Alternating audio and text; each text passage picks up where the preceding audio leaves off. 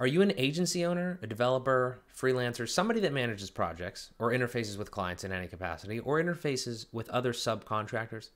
That's going to be the main thing about this video, the main topic today, because I want to talk to you directly. My name is Mark Joseph Szymanski. I'm an agency owner. I've been building websites since 2018. Uh, and there's just, I've learned a ton. And one of the main things that I've learned from trying to run a digital agency since then is the fact that you have to manage expectations. It is uh, probably the most important lesson that you will learn whenever you understand that fully. And I still don't even understand it fully.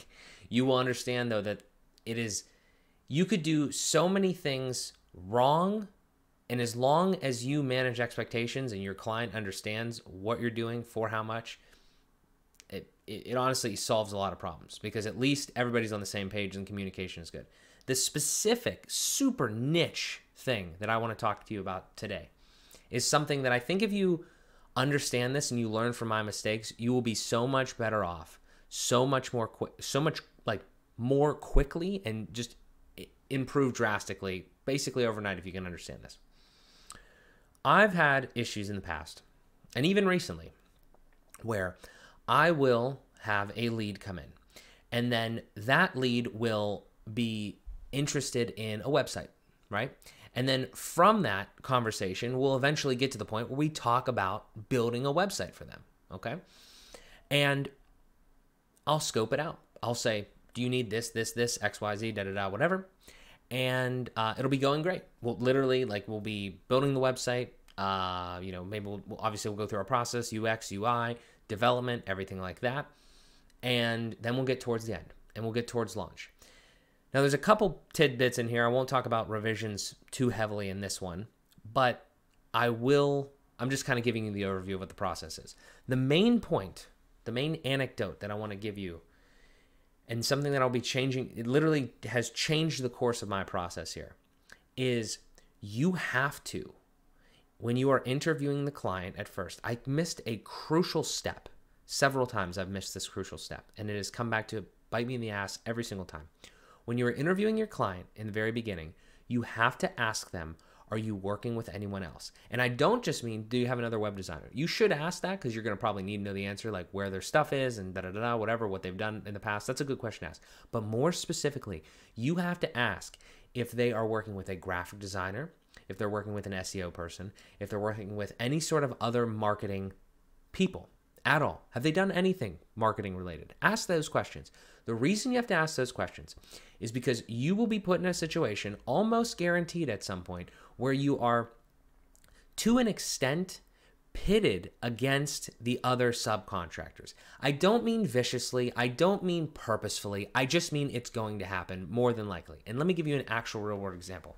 If your client is working with a designer and it doesn't have to be a web designer obviously. It could be a graphic designer. It could be even like you know just kind of like a, a, even a copywriter anything like that. Like any like even like a social media management company. If they're working with somebody else and you come in and you build them a website and throughout that process you don't discuss that beforehand before you start the project you scope out a certain level of this is how many mockups we're going to do this is how much ux work that we're going to do this is how much development we're going to do. Then you get to the revision round or you get to even worse later in the project and then they bring in other people to counsel and to give feedback on the stuff that you have already proposed and actually done the work for, right? Without any of these other considerations. They bring in somebody to provide feedback or other otherwise, you know, just just give give feedback on the on the on what you've done. You might find yourself in a situation where now you and possibly your team are trying to answer and discuss and not necessarily argue, but p- potentially you don't have to just field objections from the client. You also have to field objections from the other people they are working for. I like I said, I've had this happen, okay?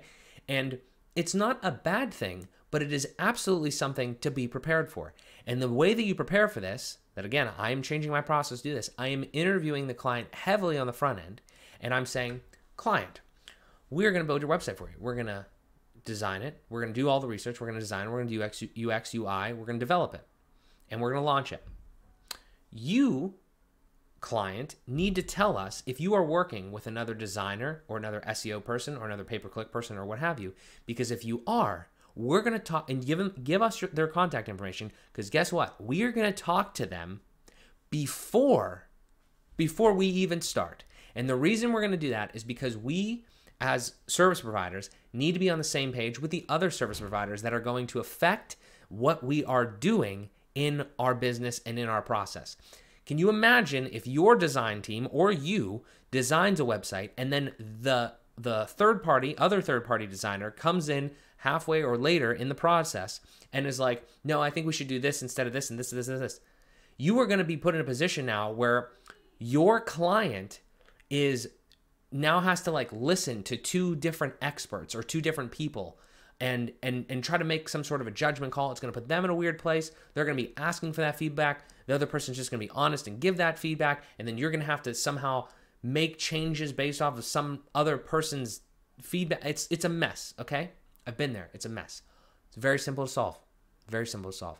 Have the conversations up front and and make it completely 100% clear to your client that as a web designer, there are a lot of different pieces. As a web developer, freelancer, whatever you call yourself, there are many different pieces that go into this. There's graphic design, there's SEO, there's the actual development piece. You need a lot of people. You need graphic designers for the logos. You need copywriters for the copy, right? If they have any of those people already, you have to chat them up. You have to talk to them, have literally one-on-one conversations with them, so you can eh, you so you can understand and even get the inside baseball on your new client, what they have done, what they haven't done, what they do like, what they don't like, to some extent, right? To get another person's perspective on that.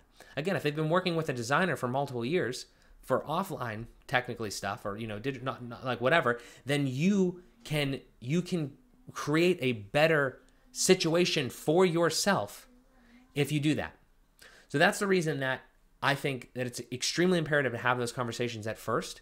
And I need to absolutely do that. I'm, like I said, I'm doing it in my process. I would encourage you to have that conversation with yourself. Maybe I'm telling you stuff you already know. If I am, let me know in the comments. Say, Mark, I figured that out five years ago. I, you know, thank God. I'm happy for you. But hopefully this gave you a little bit of insight onto something that I've had to deal with and I've made the mistake on. And that's what this channel is all about. I'm trying to document the things. I'm trying to learn from, uh, I'm trying to have you learn from my mistakes trying to teach them things. We have discussion down in the comments, like I said. So again, to wrap up, make sure you have those conversations at the start of the of the project rather than after when you've already done work and you're getting that weird feedback or whatever. And again, it doesn't have to just be design; it could be even SEO and everything like that. If you want to be the digital partner, like the main digital partner for your client, if that's something that you want to do and you don't just want to hand websites off, you do want to do that, that's fine too. But if you want to establish a long-term relationship with them, you have to understand the other people they're working with in a similar verticals because those people are your allies. They already know that client, perhaps, if they've been working with them. There's going to be a lot of inside baseball that they could tell you, and you will be able to benefit. Both of you will be able to benefit because you'll be able to work together as people that are in the same industry, similar industries, and understand and can talk a similar language that your client probably can't because they are hiring you guys, you and the other person, because you're experts in your field. So that's all I got. I know it's high level. I know it's just like a weird little niche thing, but I, I'm I'm like I said, it's really impactful. You got to add that into your process. I'll have more videos on like the process as a whole and everything like that. But I uh, hope you got something out of this video. If you did, make sure you hit the like button, subscribe if you like the content, and I'll talk to you guys in the next one.